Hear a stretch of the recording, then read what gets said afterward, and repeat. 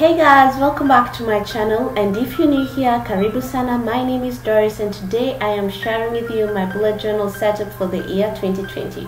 So stick around to the end, like, comment and maybe subscribe.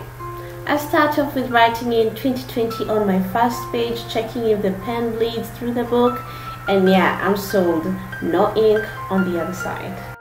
Next are my index pages which are pretty simple with page on one side of the line with 8 complete boxes and description on the other side of the line with 17 complete boxes and this goes for another 4 pages. Here I'm setting up my calendars for the year 2020 to the year 2021. I try to maximize on the pages by having 3 months across and 4 months along the page. This time around I decided to uh, have two calendars for both years because I just thought it would be a good idea and yeah this is tedious but it's got to be done.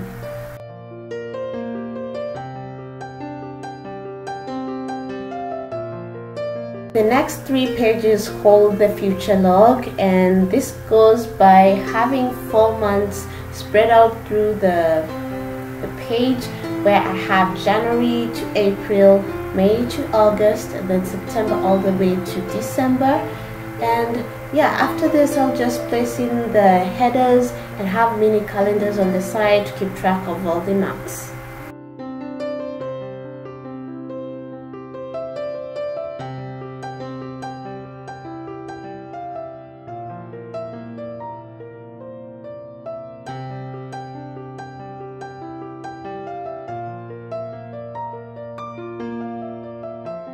Going to attempt the InPixel spread again this year. I really failed on last year's one, but I'm hoping to have a complete spread at the end of this year. It's just a rectangle of 12 boxes for every month across and 31 boxes along the page uh, for each date on the side, shading out the months that have 29 and 30 days in the month, then definitely a key with all the sentiments of the day in different color. Then I have my 2020 goals page and the next one to track progress on things achieved within the quarters. Super simple.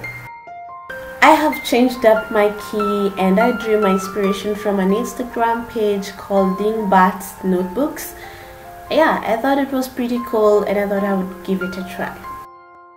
Finally, the year theme or quote. I thought it was a really good quote to reflect on throughout the year then of course I'll go ahead and number all my pages. Now that's that's how you can find all the pages.